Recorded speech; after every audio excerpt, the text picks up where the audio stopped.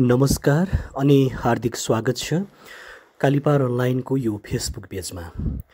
यतिखेर हामीले तपाईँहरूलाई स्याङ्जा जिल्ला कालीगण्डकी गाउँपालिका वडा नम्बर एकको अलिकति पुछारको अझ भनौँ सदरको सदरमुकामबाट धेरै टाढामा रहेको एउटा गाउँपालिका जसको गुल्मीसँग अलिकति नजिक सिमाना रहेको एउटा ठाउँ जहाँ मोटर बाटो निर्माण कार्य भइरहेको छ र मोटर बाटो निर्माण कार्य त भइरहेको छ तर पनि अझ योभन्दा पनि विशेष कुरा के छ त भन्दाखेरि तपाईँहरूले भिडियोमा देख्न सक्नुहुन्छ। त्यो बाटोमा कालोपत्रे गर्ने काम अत्यन्तै तीव्रता तीव्रताका साथमा काम भइरहेको छ। यही क्रममा तपाईँलाई हाम्रो अकाली पावर अनलाइनको यो फेसबुक पेज मार्फत खोपाबाट अझ भनौँ जुन खोपा भनेर चिनिन्छ। त्यहाँबाट चाहिँ जोगी डाँडासम्मको मोटर बाटोको अवस्था कसो छ भनेर तपाईँहरूलाई यो सानो भिडियो मार्फत हामीले देखाउने प्रयास गरिरहेका छौँ। बाटो अत्यन्तै राम्रो बनेको छ फराकिलो बनेको छ। पहिला अत्यन्तै कठिन उकालो त्यसमाथि पनि खाल्डाखुल्टी लेभल नमिलेको बाटो थियो भने अहिले बाटो एकदमै लेभल मिले मिलेको छ। यात्रा गर्न अलिकति सहज हुने देखिन्छ।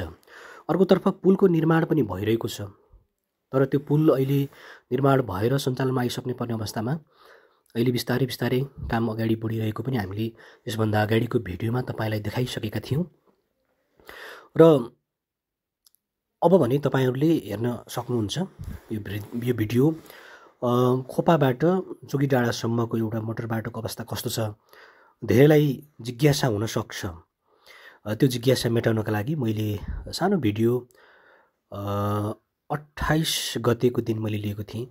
पुस अट्ठाइस गतेको दिनमा लिएको भिडियो हो यो र आज अपलोड गरिरहेको छु मैले र यो भिडियो तपाईँहरूले हेर्नुहोला भिडियोको अन्तिमसम्म हेर्नुहोला र अझ त्यहाँ अर्को कुरा अर्को खुसीको कुरा के देख्न पनि पाइन्छ भन्दाखेरि भिडियोमा ट्र्याक्टरले मजाले बारी जोतेको दृश्य पनि हामीले कैद गरेका छौँ र बाटोमा यात्रा गर्ने क्रममा अचानक मृगले पनि एउटा बाटो काटेको छ।